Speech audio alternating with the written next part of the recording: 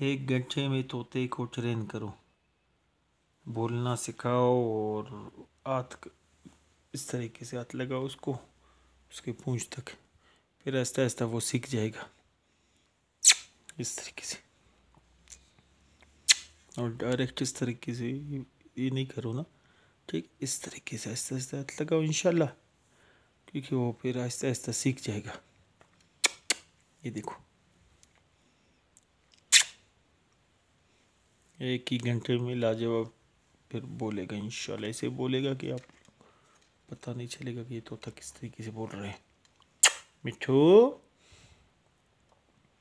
मिठू मिठू मिठू मिठू मिठू मिठू मिठू मिठू मिठू मिठू मिठू मिठू मिठू मिठो बोलो ना। मिठो। मिठो? मिठो मिठो।